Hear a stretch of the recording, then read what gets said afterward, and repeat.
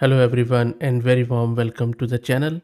In this video I'm going to show you a very nifty innovative tool which is just a labor of work from one of the subscribers of this channel. I'm very grateful that that person shared it with me and I am presenting you this AI powered podcast creation and optimization tool.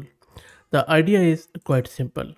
This tool really changes the way academic texts are transformed or any text is transformed which is written in the PDF format and it converts it into a podcast or in other words in an audio content. What it does is it just exploits the AI and then it automates the podcast creation process with the help of LLM. At the moment, it is using OpenAI based LLM, which means that it is a paid option. You would have to go to platform.openai.com and grab your API key from there, and then you can use this on any PDF file to generate a podcast or an audio file. But there are few twists and real innovations in this system. For example, there is a self-improving mechanism which optimizes prompt based on users' feedback. So that ensures continuous enhancement. Also, the system's architecture is quite interesting and I will also be discussing it a bit. Before I move forward, let me give a huge thanks to our good friends at AgentQL who are sponsoring this video. AgentQL is a query language for extracting data from web pages quickly, easily, and at scale. You can use the Python SDK to run your queries in production using Playwright and use the browser-based debugger for optimizing queries in real time on any web page. AgentQL is a robust alternative to fragile XPath and DOM CSS selectors, as it uses the power of AI to analyze the page structure to find the data you are looking for. I will also drop the link to their website in video's description. Let's go back to our AI powered podcast and let's try to get this installed on our local system and then we will see its architecture and other stuff and play around with it as you can see i'm running ubuntu 22.04 let me clear the screen first up let me create a virtual environment with conda i'm just calling it with pd and using python 3.11 with it let's wait for it to get activated next up let's git clone the repo I will also drop the link to it in video description. That is done and we are into this. Let's install all the requirements. And the requirements are being installed. So this is going to take a couple of minutes. And meanwhile, let me also introduce you to this Hacktuber from Massed Compute who are sponsoring the VM and GPU for this video. You don't need a GPU because we are using an API based LLM, but this hacktuber by Massed Compute is quite interesting. If you want to win $100 in free GPU credit, you can send them your text-based creation or uh, image-based creation through AI and you stand a chance to win that. Okay, so our prerequisites are done. You see that how quick that is. Let me clear the screen. Next up, let's set our OpenAI's API key for that simply run this let me set my key and uh, clear the screen and I have set my key next up make sure that you have node and npm installed so I have a recent version of node installed and also I have the npm installed now if you don't have it installed just search my channel I have done a step-by-step -step easy video as how to do that otherwise you can also check this repo um, the creator has also given the instructions as how to install it on Windows or Linux. So it should be good. It's very simple. Okay, so let me clear the screen. Next up, let me show you how you can run this software on your own PDF file from CLI. So for that, all you need to do is from the root of this repo, just run this python 3 source slash np audio.py and give the path to your PDF file. So this is just a PDF file where I have just written one paragraph on my personal information as who I am, where I live and all that stuff. So let me run it and then we will see that how it converts it into a podcast or audio file. So it is, you see that it is summarizing the entire text. It is generating the script, enhancing script with playful banter in dialogue form. Let's wait for it to finish. It looks quite good. It is also giving us HTTP 200 codes and that is all done and you see that how quick that was but one um, caution of course as I have to give it that this is a this is using our API call to OpenAI so that is a paid option. So make sure that you keep an eye on your credits. Uh, I'm already almost bankrupt. Not due to this but uh, this could go out of hand fairly quickly because the larger your PDF files the you know the most cost you are going to incur. Anyway so let's go and check out this um, mp3 file which it has created here. So in the same file audios folder. So let me go there and then I'm just going to go to that directory quickly. And there you go. You see that there is an mp3 file and then there is a dialog txt file. So if I quickly open first this dialog file so you see it is the host it has just converted my PDF file into this dialog host and guest.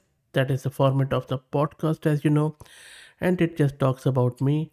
Um, wow i mean this is such a self praise but anyway let me play this mp3 file.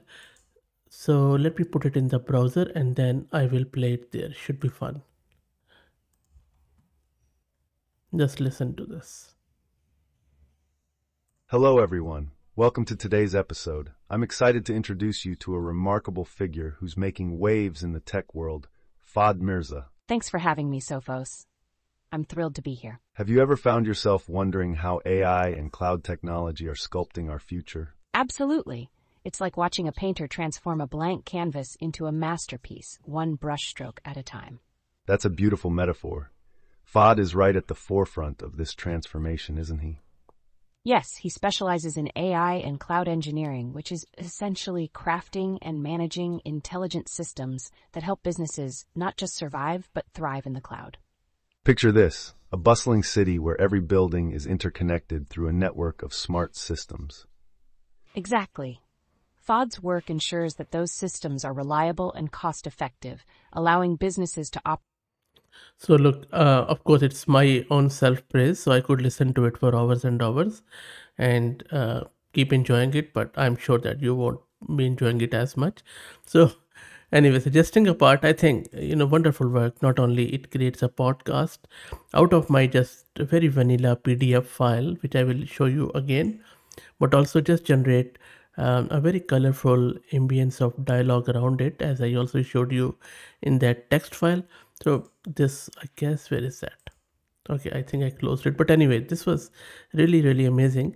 And as i mentioned you can also do it with the feedback. Let me show you that feedback stuff.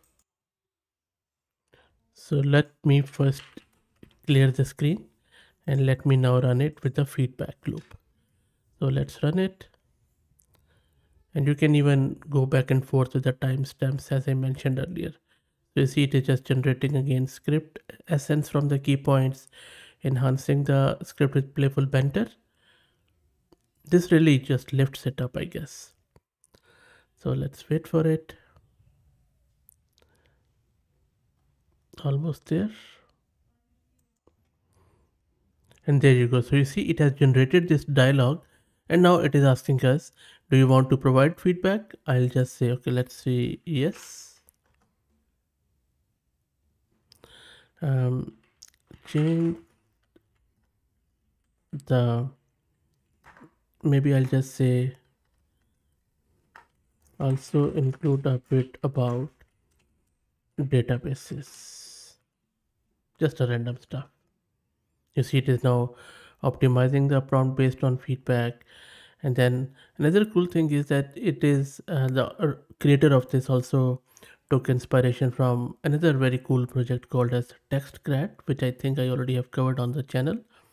So you see it is using that TextGrad's backward engine for summarizer and GPT-4o mini is being used here. And that now it is just going through that, loading the po podcast state, which it already created, and then looping through it. Good stuff.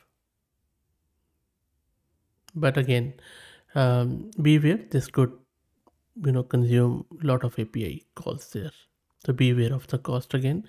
And the best option to not to get a bill shock is to just set a limit so that if just it goes over a certain limit it is going to beep you. So i have set some limit and hopefully it won't cross that.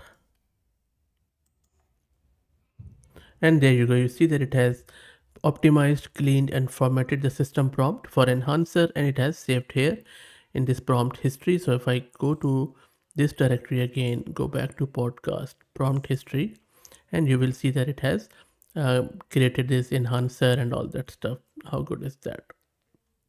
So for example if i just open this one it has just created this prompt. Amazing stuff. Very nice okay so another thing which you can do with it if you don't like cli you can even uh, do a web interface. For that you would just need to create a front end and a back end. Let me also show you how to do that. So in order to start the backend first which is of course the customary all you need to do is to run this uh, uvicorn command that is going to start your backend and for front end you would just need to go to front end directory. And then from all you would need to do is to just do npm start. And then you can access it at port 3000 uh, but i prefer it to be used on the cli makes it so easy and you know what is going on. Uh, and it's the same experience. So that's it. I hope that you enjoyed it. Let me know what you think about this tool. Uh, share your opinion in the comments. If you like the content please consider subscribing to the channel if you're already subscribed, please share it among your network as it helps a lot. Thank you for watching.